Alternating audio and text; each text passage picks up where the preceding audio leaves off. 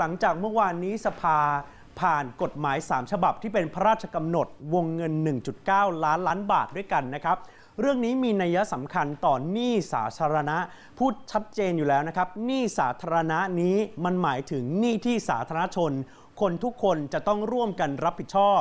รัฐบาลก็จะต้องใช้รายได้จากภาครัฐนี่แหละครับ เอาไปใช้หนี้คืน จะเป็นระยะสั้นระยะยาวอย่างไร ก็ค่อยติดตามกัน ทีนี้เมื่อวานนี้ผ่าน 3 ตัวที่เป็นวงเงิน 1.9 ล้านล้านบาท บอกก่อนนะครับ 1.9 ล้านล้านก้อน 1 ล้านคือเงินกู้ พระราชบัญญัติกู้ พระราชกำหนดกู้เงินนะครับ 1 ล้านล้านบาท ซึ่งวันนี้เราโฟกัสกันตรงนี้ เป็นส่วนที่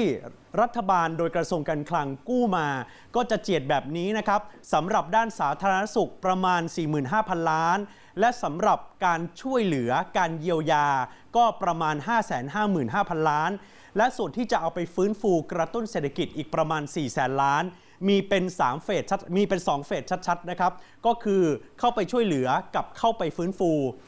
ส่วนข้อ 2 กับข้อ 3 แบงก์ชาติก็เน้นย้ำมาตลอดนะครับว่าแบงก์ชาติไม่ได้ไปกู้เงิน แต่กฎหมายฉบับนี้ให้แบงก์ชาติทำสิ่งนี้นะครับ ก็คือการให้ SME กู้5แสนล้าน ปล่อยกู้คนที่กู้เดิมอยู่แล้ว ให้สินเชื่อเขาเอาไปใช้ต่อเอาไปหมุนในธุรกิจ อีกส่วนหนึ่งก็คือพระราชกำหนดดูแลเสถียรภาพ ก็พูดโดยตรงแหละครับก็คือพรก BSF ไม่ได้หมายความว่าเอาเงินไปให้ภาคเอกชนกู้ แต่เอาเงินไปให้ยืมเพื่อใช้ชำระตัวหุ้นกู้ภาคเอกชนที่ครบกำหนด โดยคิดดอกเบี้ยแพงที่สุด วงเงินตรงนี้ 4 แสนล้าน แต่วันนี้เราโฟกัสเรื่องนี้เลยครับเพราะโจทย์ก็คือ 1 ล้านล้านบาท พอหรือเปล่าครับ กับการกระตุ้นเศรษฐกิจ ถ้าไปดูครับ 1 ล้านล้านบาท รัฐบาลจะไปเอาเงินมาจากไหน ตัวเลขที่สำนักงงานบริหารหนี้สาธารณะหรือสบนโชว์ล่าสุดนะครับ หลักๆหนี้ของประเทศไทยเราหนี้สาธารณะยังมาจากแหล่งเงินกู้ในประเทศเป็นหลักนะครับ วิธีการก็คืออาจจะขายเป็นพันธบัตรนะครับ อายุตั้งแต่ 5-50 ปี ผลตอบแทนก็ไล่เรียงกันไปตามอายุของมันอาจจะกู้จากองค์กรระหว่างประเทศ หรือว่าสถาบันการเงินระหว่างประเทศ ช่วงที่ผ่านมานะครับ ทางผู้บริหารของสบนก็เคยเข้าสายกับเศรษฐกิจอินไซด์แล้วบอกว่า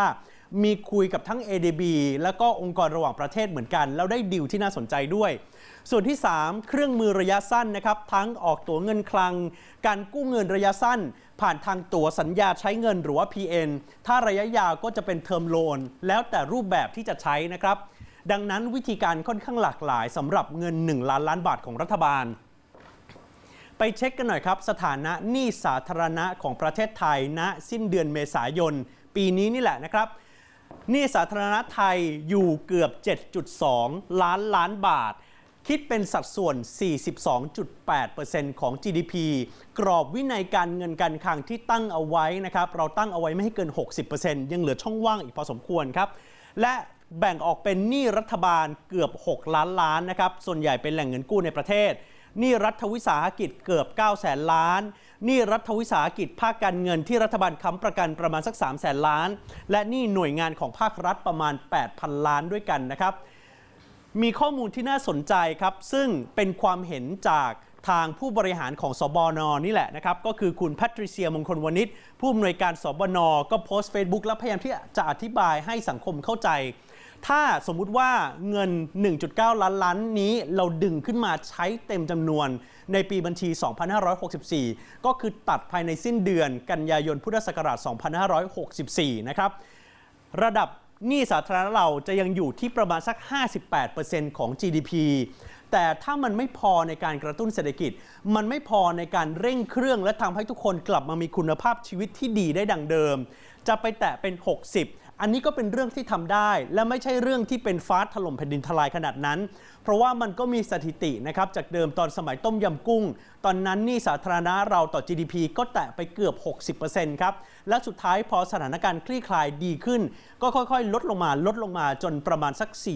40%และคุณผู้ชมถ้าไปดูกันต่อนะครับสำหรับการใช้หนี้ของ หนี้สาธารณะ 1 ล้านล้านบาทนี้ อายุเฉลี่ยโดยปกติที่สบนรวบรวมมานะครับ1รายการจะประมาณสัก 10 ปีกว่าๆ ในการใช้หนี้ที่ยาวที่สุดที่ถูกยืดออกไปก็ประมาณ 50 ปีด้วยกันนะครับ แล้วแต่ว่าเงื่อนไขจะเป็นอย่างไรจะเป็นหนี้สั้นหนี้ยาว แต่ที่สำคัญรัฐบาลจะกำหนดวงเงินในการใช้หนี้แต่ละครั้งมาเสมอ โดยเฉลี่ยก็ประมาณสัก 3%ของงบประมาณ ตรงนี้เนี่ยแหละครับก็เกี่ยวข้องกับประชาชนโดยตรง เพราะว่ารายได้จากรัฐบาลก็มาจากภาษีนะครับและภาษีตรงนี้ก็จะต้องเอามาจ่ายสำหรับหนี้สาธารณะ อีกส่วนหนึ่งถ้าเศรษฐกิจดีแล้ว เรื่องนี้สำคัญครับเรื่องนี้เป็นสำคัญแล้วก็โจทย์ใหญ่ก็คือประเด็นนี้นี่แหละเราต้องทำให้เศรษฐกิจกลับมาให้ได้ก่อน ต้องทำให้เศรษฐกิจดีก่อน หลังจากนั้นก็จะจัดเก็บภาษีเข้ามาในมือของภาครัฐ เพื่อเอาไปใช้หนี้ได้ดียิ่งขึ้น และเราก็ค่อยลดระดับหนี้สาธารณะลงในวันข้างหน้าคำถามสำคัญเลยครับคือ 1 ล้านล้านบาท มันเพียงพอหรือเปล่าสำหรับ การกระตุ้นเศรษฐกิจ แล้วก็การช่วยเหลือในตอนนี้ครับใช่แล้วค่ะเพราะว่าสิ่งสำคัญก็คือวงเงินดังกล่าวเองนะคะมีอยู่ 3 ส่วนด้วยกันค่ะที่ต้องสร้างจุดสมดุลให้เกิดขึ้นนะคะส่วนแรกก็คือเรื่องของการเยียวยาเมื่อได้รับผลกระทบจากโควิด -19 นะคะส่วนที่ 2 คือการฟื้นฟูและกระตุ้นเศรษฐกิจนะคะหลังจากโควิด -19 คลี่คลาย เพื่อให้เศรษฐกิจกลับมาเดินหน้าได้ และส่วนสุดท้ายคือวินัยทางการเงินการคลังด้วยนะคะเรื่องนี้เราจะมาพูดคุยพร้อมกันกับดรอมรเทพจวลานะคะซึ่งเป็นผู้ช่วยกรรมการผู้จัดการใหญ่สำนักวิจัยธนาคาร CIMB ไทย อยู่กับเราแล้วในตอนนี้ด้วยนะคะ สวัสดีค่ะดรอมรเทพคะสวัสดีครับ สวัสดีครับ สวัสดีค่ะ ดรมันเทพคะประเมินยังไงบ้างคะ กับวงเงินนะคะ 1 ล้านล้านบาทสำหรับพรกกู้เงิน แล้วก็อีก 9 แสนล้านสำหรับพรกที่ให้อำนาจแบงก์ชาตินะคะในการสร้างเสถียรภาพทางการเงินรวมถึงซอฟท์โลนด้วย รวม 1.9 ล้านล้านบาทเพียงพอไหมคะ กับการที่จะพยุงเศรษฐกิจไทยในช่วงเวลาแบบนี้ ครับผมก็มองภาพนะครับว่าวันนี้เราพูดกันเรื่องการกู้เงิน ต้องใช้คำว่า 1 ล้านล้านก่อนนะครับ9แสนล้านเป็นเงินของแบงก์ชาติเขา แต่ถ้ามองภาพว่าอ่าหนึ่งล้านล้านนั้น อาจจะเพียงพอหรือเปล่าตอบเลยนะครับ ไม่พอครับไม่พอเข้าใจนะครันะคะว่าวันนี้เศรษฐกิจไทยลงลึกค่อนข้างมากนะครับค่ะอ่าแล้วก็มีความเสี่ยงค่อนข้างที่จะอ่ามากทีเดียว การเปิดเมืองเองยังไม่ค่อยมากนักนะครับ วันนี้เองต้องเข้าใจก่อนภาวะความเสี่ยงมีค่อนข้างมาก เพราะฉะนั้น ถ้าเข้าใจในภาพนี้วันนี้ใช้เงินไปแล้วเท่าไหร่นะครับหนึ่งล้านล้านใช้เงินไปแล้วเท่าไหร่6แสนล้านวันนี้ใช้ไปแล้วนะครับในเรื่องของการชดเชยคนที่มีรายได้ที่หายไปจากเรื่องของการปิดกิจการในเรื่องของโควิด4แสนล้านต่างหากนะครับ4แสนล้านคือตัวที่จะคุยกันว่าโอ้โหเป้าหมายมีเยอะแยะเลยนะครับ ไม่ว่าจะเป็นการใช้คำว่ากระตุ้น แต่ผมขอขออนุญาตนะครับ วันนี้อย่าเพิ่งพูดเรื่องกระตุ้นกันเลย แค่มาพูดกันว่าประคองไม่ให้เศรษฐกิจมันซุดหนักไปกว่านี้ก่อน แต่วันนี้มามองกันนะครับว่า 4 แสนล้านจะเพียงพอหรือเปล่าในการที่จะนำเงินไปใช้ในการอ่ามาประคองเศรษฐกิจวันนี้ครับแล้วก็มีระยะเวลานานแค่ไหน วันนี้มาคุยกันตรงนี้ครับว่าซึ่งวันนี้ผมอาจจะเรียนนะครับว่าเศรษฐกิจลงหนักจริง ๆ อาจจะไม่เพียงพอนะครับครับและดรอมรเทพมองว่าเศรษฐกิจลงหนักอย่างไตรมาสที่ 2 นี้ทุกคนประเมินเหมือนกันหมดนะครับว่ามันจะลงหนักมาก มองว่ามันเลวร้ายขนาดไหนครับ เอ่อวันนี้น่ากลัวจริงๆนะครับ วันนี้เรามาอยู่กลางไตรมาสที่ 2กำลังจะขึ้นเดือนสุดท้ายของไตรมาสที่ 3 กันแล้วนะครับ1มิถุนายนนี้ แต่ว่ามองภาพจริงๆ ว่าไตรมาส 2 เราประเมินนะครับว่าโอกาสที่ GDP จะหดตัวลึกได้ถึง 14%อืม14%นะครับ ถ้าเทียบกับช่วงเวลาเดียวกันปีก่อน เราไม่เคยเจอนะครับ เศรษฐกิจลงลึกขนาดนี้ช่วงเอ่อต้มยำกุ้งนะครับปี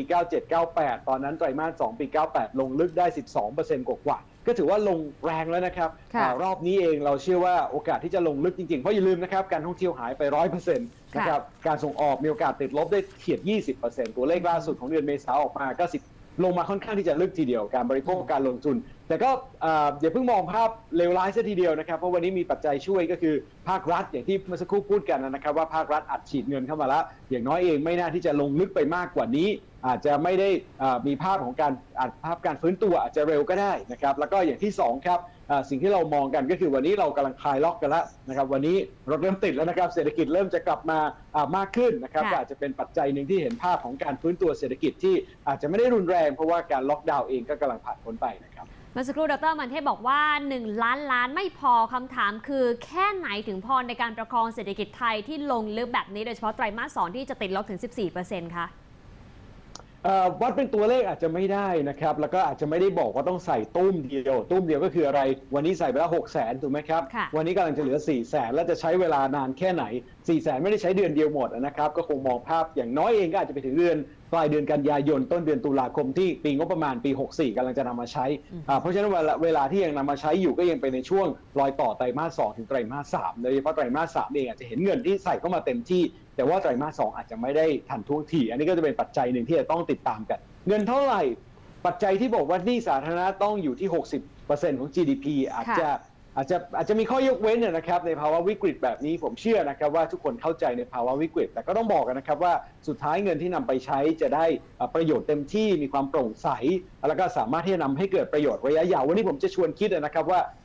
วิกฤตเศรษฐกิจรอบนี้มันเป็นโอกาสของเราจริง ๆ ในการที่จะปรับโครงสร้างเพราะอะไรเพราะว่าก่อนโควิดเข้ามาปัจจัยเรื่องของภาคเกษตร ติดลบภาคเกษตรย่ำแย่ภัยแล้งน้ำท่วมมีมานานแล้ว SME มีปัญหามานานแล้วภาคต่างจังหวัดค่อนข้างที่จะโดนผลกระทบค่อนข้างที่จะแรงความสามารถในการแข่งขันเรื่องของแรงงานเรื่องการศึกษาเอาเป็นว่ามันมีหลายเรื่องนะครับ ใช้โอกาสเงิน4ี่แสนล้านหรือเงินในอนาคตที่จะมีต่อไปเนี่ยมันการปรับโครงสร้างเศรษฐกิจในระยะยาวด้วยพร้อมกันเลยนะครับครับงั้นขยายความต่อจากที่ดรพูดนะครับ ค่อนข้างน่าสนใจก็คือตัว 4 แสนล้านนี่แหละครับ วงเงินสำหรับการฟื้นฟู แล้วก็ทำสิ่งใหม่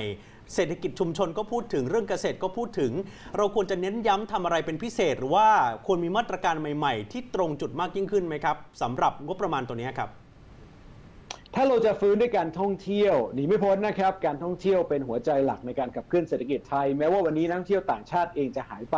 การเอ่อเติบโตในการท่องเที่ยวของเราเอ่อเดิมอยู่ก็ประมาณสักสิกว่าเปอร์เซ็นต์ของ GDP มองในอนาคตผมเชื่อนะครับว่าถ้าเป็นการท่องเที่ยวจากภายในก็สามารถที่จะช่วยประคองได้ ทีนี้การท่องเที่ยวจากภายในจะเป็นอย่างไรนะครับอย่าลืมนะครับว่าการท่องเที่ยววันนี้เราพึ่งนักท่องเที่ยวอยู่ไม่กี่จังหวัดเองนะครับกรุงเทพพัทยาเอ่อชลบุรีนะฮะค่ะอ่าภูเก็ตกระบี่สมุทรอะไรก็แล้วแต่เนี่ยมันไม่กี่จังหวัดจริงๆวันนี้ต้องเป็นโอกาสจริงๆ ในการที่จะพัฒนาให้ไทยเที่ยวไทยเนี่ยแต่ว่าจะกระจายให้มากขึ้น แล้วอย่าไปเน้นแค่ท่องเที่ยวอย่างเดียวครับ คำว่าท่องเที่ยววันนี้คือให้คนเข้าไปอยู่ในพื้นที่ แต่จะเน้นเรื่องของตลาดภาคเกษตร ภาคต่างจังหวัดให้เขาสามารถมีส่วนร่วมได้ ผมเชื่อครับว่ากิจกรรมทางเศรษฐกิจจะไม่ใช่แค่กระจุกในเมืองใหญ่ จะเป็นโอกาสให้เขาสามารถพัฒนาชุมชนเข้าไปในถึงพื้นที่ได้ แต่ว่าใช้การท่องเที่ยวเป็นการขับเคลื่อน แต่ว่าก็จะมีการต่อเนื่อง กับภาคเกษตรภาคชุมชน ผมเชื่อครับว่าโอกาสในการพัฒนาเศรษฐกิจไทย ทั้งโครงสร้างพื้นฐานในการไปต่างจังหวัดจะทำได้ แต่ว่าก็ต้องมองกันต่อไปนะครับว่าวันนี้ทุกคนก็หวังควิกวินนะฮะอยากจะให้มันจบให้มันเสร็จในระยะสั้นค่ะเพราะเงิน4ี่ครัสาบล้านจะรีบมากระตุ้นเศรษฐกิจ แต่ก็ต้องหวังนะครับว่าให้มันสามารถพัฒนาได้อย่างยั่งยืนในอนาคตด้วยนะครับได้ค่ะวันนี้ขอบคุณมากค่ะดรมอนเทพค่ะ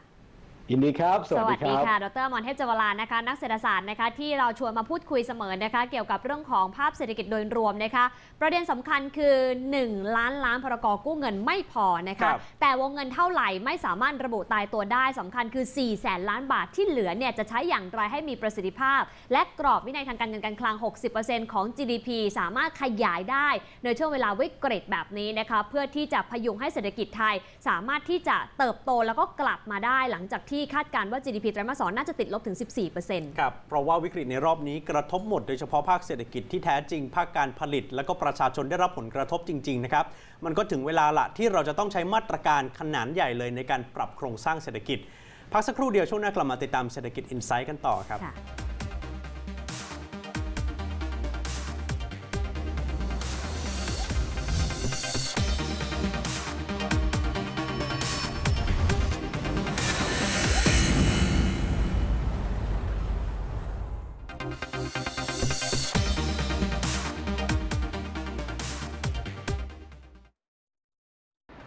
ขอบคุณที่ติดตาม TNN ช่อง 16 นะครับ อย่าลืมกด subscribe และกดกระดิ่งด้วย เรายังมีวิดีโออื่น ๆ ที่น่าสนใจอีกเพียบ